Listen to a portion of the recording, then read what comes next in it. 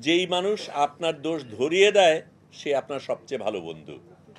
অন্যজন চুপচাপ ফিসফিস করে পেছনে বলে আপনার বন্ধু প্রকাশ্যে আপনার সামনে বলবে, কারণ সে আপনাকে ভালোবাসে। এবং শোধরানোর জায়গা সেটাই। এবং সেই কথা বলেই আমি এই সরকারকেও বলছি, তোমাকে যখন আমি সমালোচনা করছি তুমি ভা- ভালো করবে আমি চাই বলেই আমি করছি। এটা ঠিক, ভুল করছে।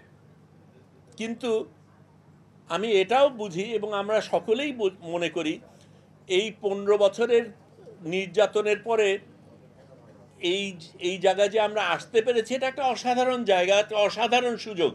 এই সুযোগ যদি আমরা হারাই, আরেকবার এই সুযোগ আসবে না। কাজেই এই সরকার যে ভুল না না করে, সেটার দায়িত্ব আমাদের উপরে। প্রত্যেক সময় তাদের দেখে দিতে হবে, বলে দিতে হবে, দিক নির্দেশনা দিতে হবে, যাতে বিচ্যুত না হতে পারে। এবং সেটাই আমার কাজ। সেটা যদি সে বোঝে, তাহলে সেটাকেও সে আলিঙ্গন করবে। কিন্তু আমি ওই জায়গায় বলতে চাই, অতটুকুই বলতে চাই যে, আপনারা ছাত্রছাত্রী, এতগুলি ছাত্রছাত্রী, আন্দোলনে কিন্তু আমি প্রচুর নারী দেখেছি আন্দোলনের সময়। গেল কোথায় সবাই? ওইখানে দু তিনজন ওখানে বসে আছেন দেখছি। তারা ওখানে পেছনে। এই জায়গায় একজনের যোগ্যতা নাই, এটা আপনি বলতে চান? আমি মানতে রাজি না।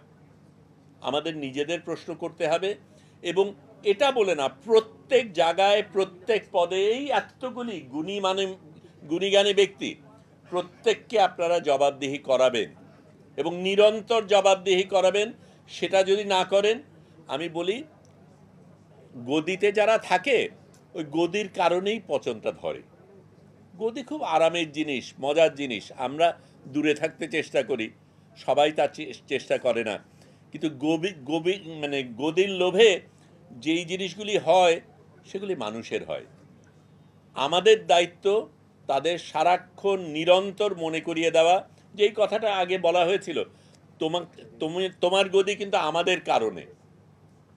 এবং এই জিনিসটা সারাক্ষণ মনে করিয়ে দেওয়ার কারণে যদি তার মধ্যে একটু পরিবর্তন আসে, তাহলেই আমাদের সার্থকতা হবে।